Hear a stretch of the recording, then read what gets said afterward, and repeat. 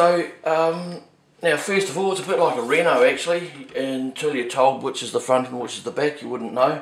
This is the front, and that's, you know, the, the lead trails out the back, and because you're watching it go, and here's the controls on the back.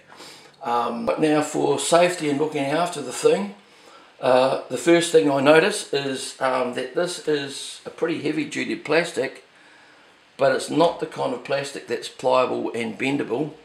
Um, so if you drop this from the height, or just about any height really, because of the fact that it's so heavy, it's going to get to the bottom pretty quick. So if you drop that, you're probably likely to crack the plastic. So you, when you're carrying it around, you know, be aware of what you're doing and don't drop it. Um, because if you drop it or drop something on it, um, that plastic's going to crack and that's going to put it out of action for a while what else? There are fuses, fuses that go in there if you need to. There should be spare fuses in the box. Um, and that's about it. Let's look a little bit closer. So, okay, it's looking from the other side. So when you're starting off, it, when you're starting off, that wheel rolls over and then it goes up to about here somewhere and then you lift it up. You see that? It goes into that spot there. Lift it up, make sure it's right, push to the other side, you can see it lines up, lines up there, and there you go.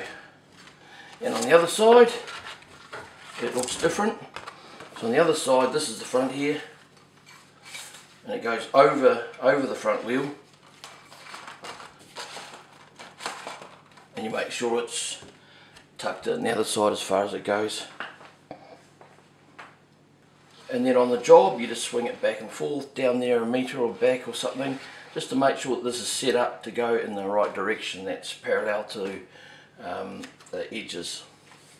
Something like that anyway. Right g'day Sam King here from King Agricultural and this is our uh, joiner for joining um, plastic. So that's um, polyethylene, this is HDPE, um, half a millimetre, uh, 500 microns, and um, it's done a pretty good job. Now this is my uh, third run through. The first um, time I tried it, uh, this way first, uh, that was a failure. I had it aligned wrong, you can see how it's skidded off the edge there. So it's supposed to have two points of heat contact that welds together and it's got to be hot enough so that it fuses them. Now you obviously can see here it just wasn't enough and it just pulled away quite easily. Then I had another go and you can see it was better so I turned the heat up and it melted a bit better but it did better on this side than that side. That side just stripped right off. This one here was a bit better there, not so good there. So then I just turned it up a bit more. There's the one that worked again. Um, maybe I could possibly go try, do another try going down a little bit, um, uh, down with the temperature just a little bit. Um, but what I found is that, um, okay, as soon as it heats up, like the second that that turns from red, which means it's heating, when it's green, that's green light ready to go, and you've got to um, put it into gear and go for it straight away. Because if you wait for just a few seconds, uh, even I think they probably only waited three seconds and that burnt a hole right through. There's a little wee pinhole um, through there that you can see. So that's why it's necessary to do a few strips um, as a test before you go. And it's no good just for me to just say, okay, well for this kind of plastic that I'm selling, um, it's whatever settings. You've actually got to um, do it because the temperature on the day when you're working with it um, will have a bit to do with, you know, what temperature on the setting on here that's going to work best. Um, obviously if the, if the plastic's really hot it's going to take a lot less to heat it to the required amount. Better note down so I've got a record of this test, what the settings were. About 260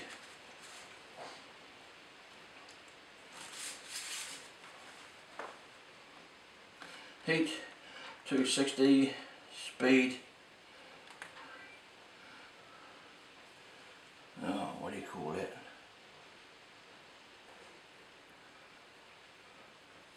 One and a third markers.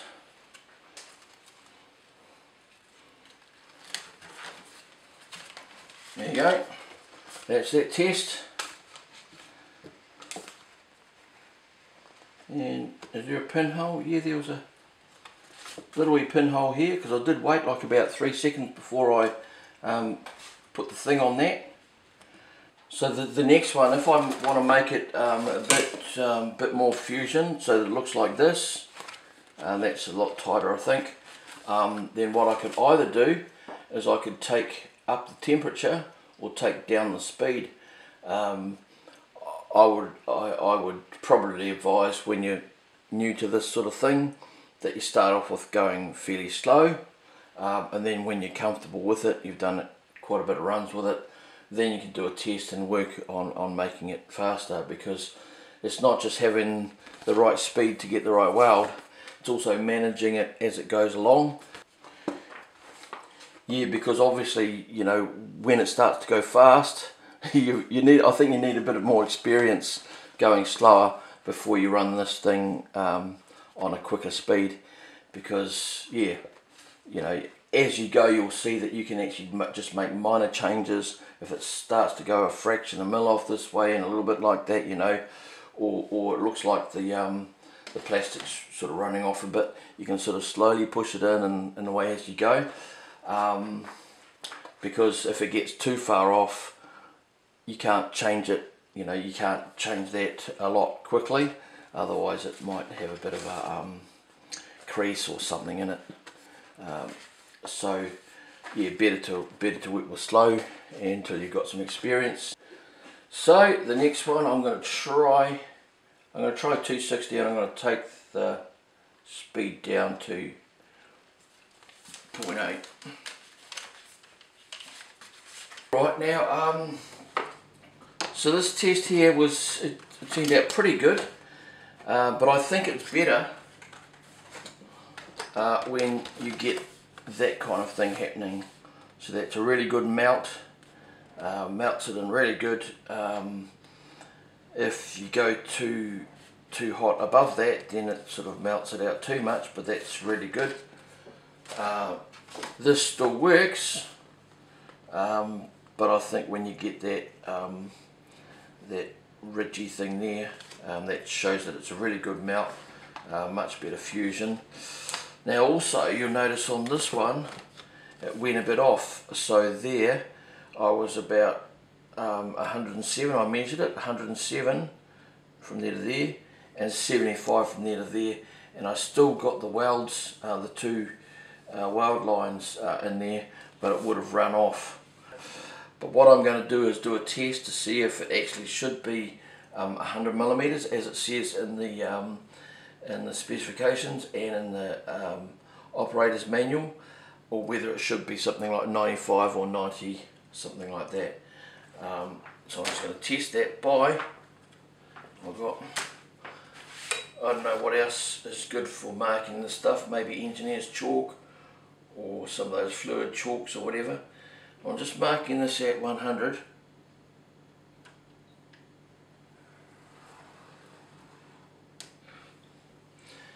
and especially for your first couple of runs it's not a bad idea to mark it.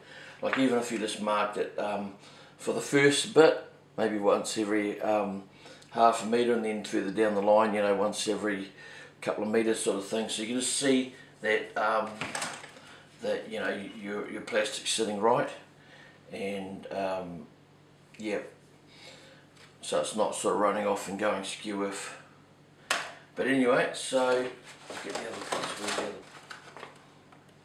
actually to me it looks as if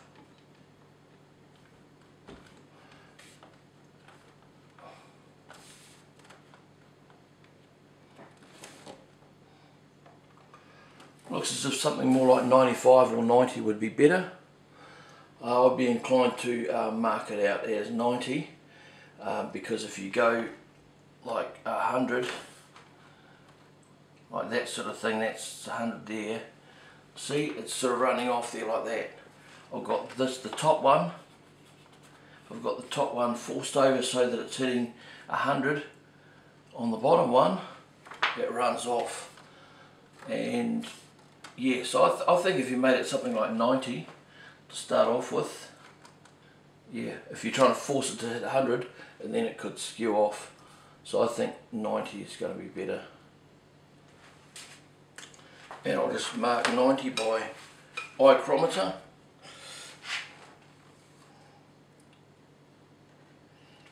Or 92 or something.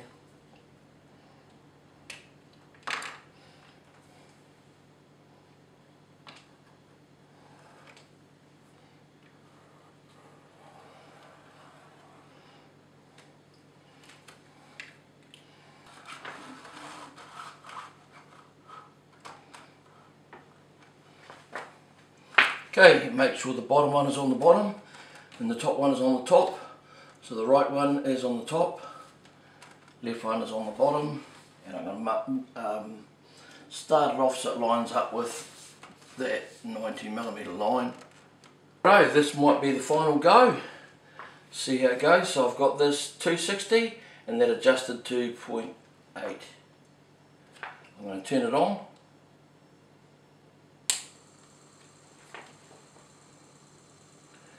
And make sure you're ready to go. As soon as it hits green chuck it into gear.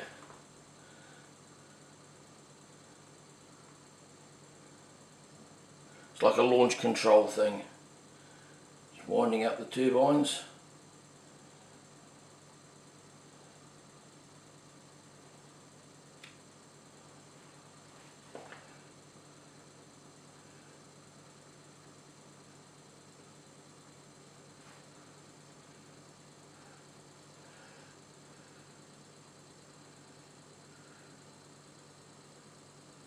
Right, straight into gear.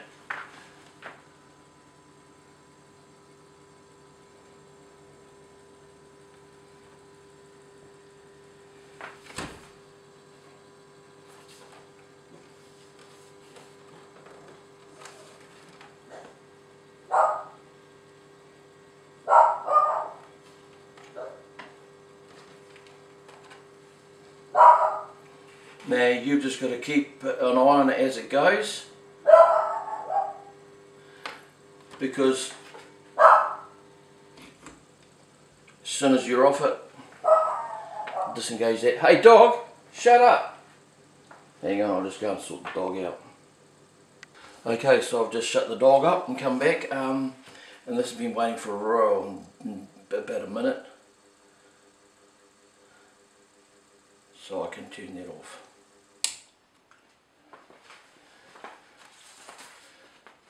Okay, so that's that's a pretty good one. Um, I think very similar to that one. This one looks like there's a bit more melt than that one there. Um, and possibly I could maybe turn the um, temperature down just a fraction. Um, but it's pretty good. Now I think um, you know, the, the, the temperature control on this is, is pretty good. Um, so it's probably going to stay constant as, as it goes way down the line. But still there's a potential that maybe um, after a few meters or um, whatever, the temperature may heat up a little bit more. So just as it's going along, um, keep a look, keep an eye on this sort of pattern and the way it's forming. And if you see it's, it looks like it's burning out a bit, like maybe getting a bit too hot like see that spot there when it sort of sat there for well, like a nanosecond like a second before I started doing that run and it sort of burns out a bit. So way before it gets anything like that um, if it starts sort of heating up a bit then turn the controls you know turn the um, the uh, temperature down a little bit as you go that's what you can do. Now another thing, look at the line alignment, and it's probably not a bad idea when you do your tests um, to do to run a line like that. I just used a um, uh, one of those kind of markers, but there's all sorts of markers you might be able to use. I don't know if engineering chalk works, Uh, maybe the, the engineering dye works. Um, but anyway, so that's the 100 mark, that's a 90 mark. And I've started off at around about 93 or something, 90, yeah, something like that. And it's run off a little bit. Now, obviously, when you've got two big pieces of plastic, the way they're sitting and the way they're weighted down, they're going to stay together a lot better than you know, trying to hold two little wee bits of, of, of plastic like that. Um, but yeah, you just got to make sure that this is running along the centre. And as it goes, um, you will be able to correct it just a little bit here and there as you go along, push it this way. You know, you can make minor corrections with this but you can't sort of do a big correction like that otherwise you might get a bit of a kink so just sort of um, you know just as it goes along minor corrections and you'll be all right but um, the, the default safety position is by you know like when you're rolling along like this anything goes wrong or you want to change it or it's burning or something whatever you know just go like that disengage it. And then you might have to realign it and you know come back again or something like that just turn it around a bit or something. But that's the default position because um, that disengages the plates for heating. But yeah do some tests until you're happy and it's probably a good idea to do a full run test like maybe a, a good like three meters or even six meters a longer piece to test so when you're buying your stuff make sure you buy just a little bit more um, so you've got enough for testing um, so you're happy with your um, happy with your welds, and away you go. So pretty good machine, isn't it?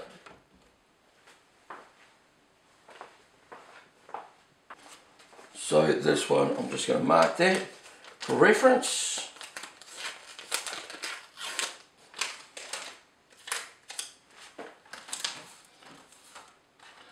Left controls on 260 and the other one was on 0.8. Okay, I'm just going to do a couple of, try a couple of different variations with uh, temperature and speed. Um, well, if you're going to be doing several joints, like a, a decent sized project, it's probably good to have um, two different options with speed. So maybe you start off for the, the first one or two or three runs, you know, going slow. But then that might really annoy you and you might want to do the next, all of the next runs um, a lot quicker. So then you'd want to know um, what temperature you would need for that higher speed. I'm going to go 95.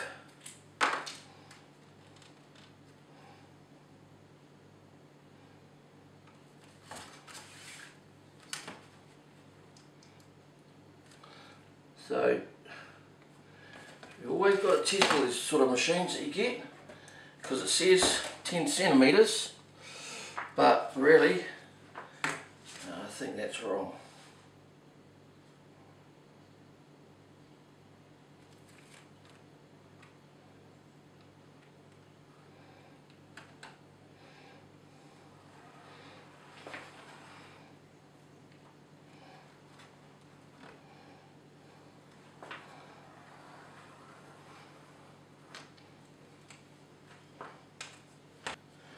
here we go.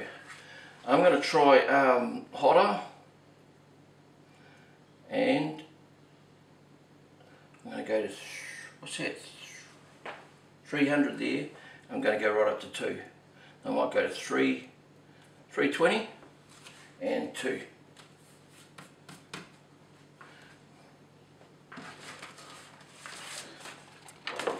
Looks good, feels good, and that goes over the top of the wheel. Like that. And you finally get it. Right.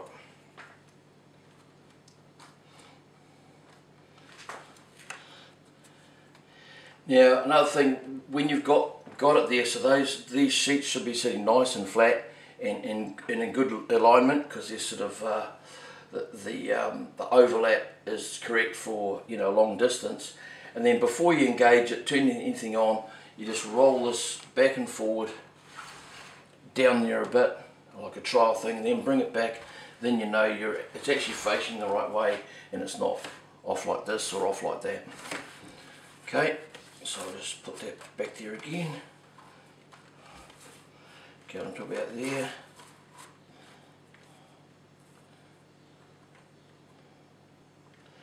okay what have we got about 310 and 2 turn that on get my coffee and my bag of biscuits out the road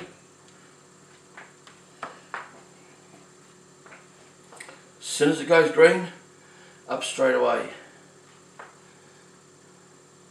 Chuck it into gear. Ready for the green launch control button.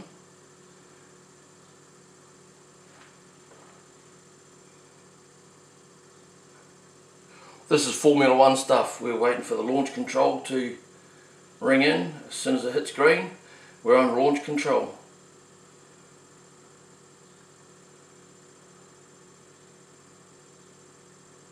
Ooh, that's getting quite hot. But we're going a lot faster. It's way faster than before.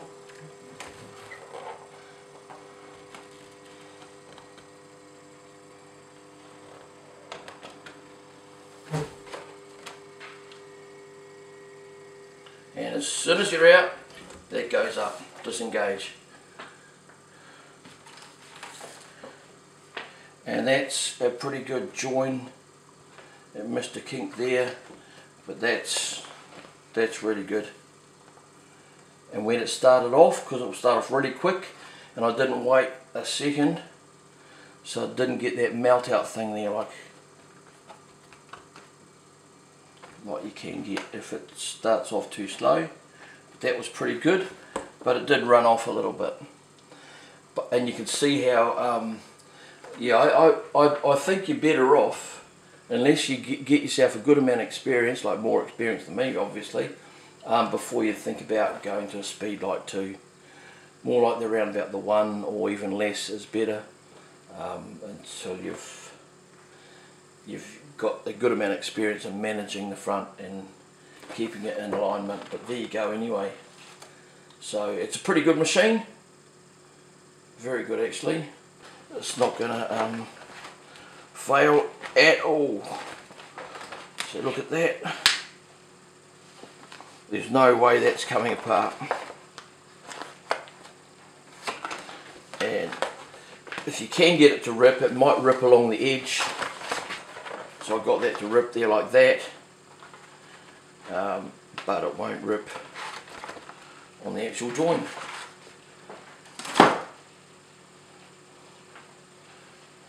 I'll try one more. Um, I'm going to go to uh, 290 and 1.1.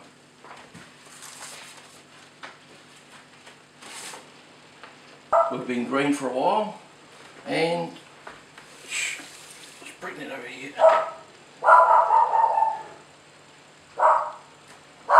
Okay, launch control.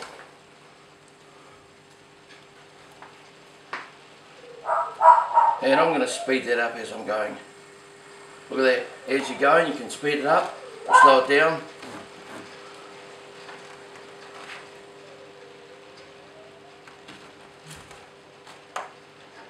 See there, I can slow it right down.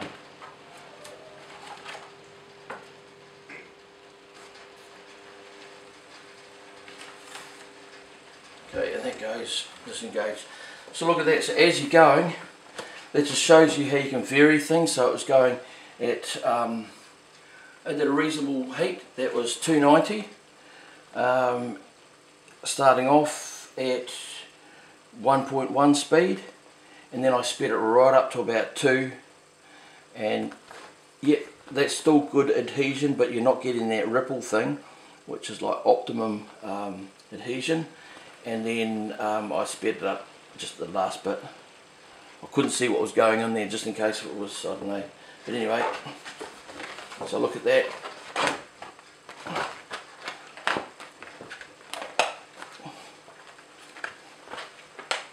See that? Now, with a bit of ripping, I was able to pull that bit where it was smooth, but where you got that ripple bit there, it's, you just can't, you just can't pull it. It won't pull there, it'll fail next to the joint but not on the joint. So there you go, that's the machine. Yeah, the temperature in this room is pretty much on 20 degrees. So, room temp 20 degrees. That's just a, a indicator I guess. So I'm going to pop that in the um, box with stuff so you can see what um, a good weld looks like. And at that room temperature of 20 degrees, I was going a speed of 0.8 and a um, heat of 260 degrees. So there we go, pretty cool. Yeah, and especially if you've got a big job with lots of runs, um, it's good to, to do uh, to work out a couple of different speed, maybe two, maybe even three different speed settings.